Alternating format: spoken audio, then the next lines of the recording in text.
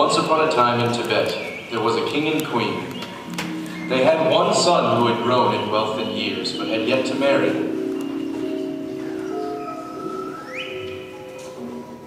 As he was riding his horse through the forest one day, the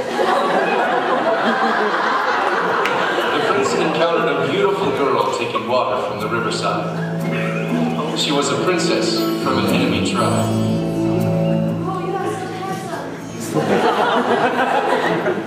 he was immediately smitten nonetheless, and together they consulted a wise old sage on how they could realize their happiness.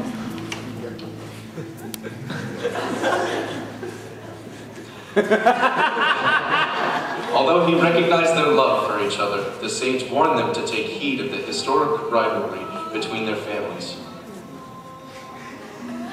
But the lovers could care less. They passed their days in the forest eating fruits without burden.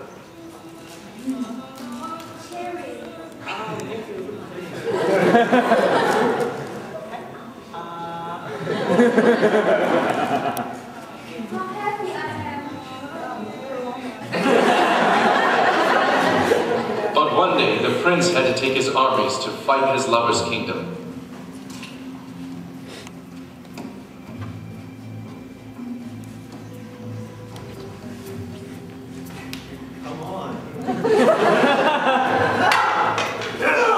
and for this he lost his life. Son! After waiting endlessly for the prince to return, the princess saw him once again by the riverside. Where's my lover? 你在哪里? Where's my lover? 我的爱人.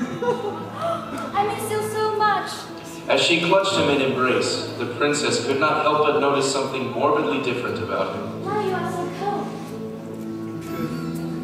I've died in the battlefield. Let's go. I have to ask that man. I need advice. And in a desperate attempt to return the prince back to her, the princess ran to consult the wise old sage once more. How can I get him back? The sage told her that she could save him, but only at the risk of her own life. She would have to go to hell itself and bring back the prince's still beating heart. No matter how difficult it will be, I will try my best for love.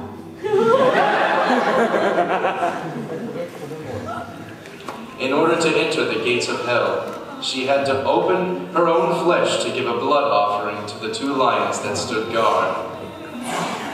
Eat this. She entered hell, and there, amid all manner of beasts and demons, like a flower, was the heart of her oh, beloved. Oh, here it is.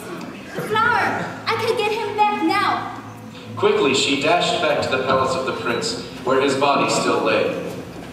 Oh, my dear lover, I'm back. The guards saw this daughter of the enemy kingdom and immediately made plans to execute her. This flower will get you back. Fortunately, the princess was able to convince them to free her, and after consulting the parent, prince's parents, she was finally able to return the heart to the man she so dearly loved.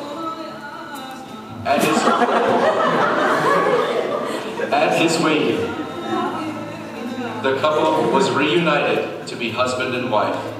Their two kingdoms, once been enemies, found peace at last.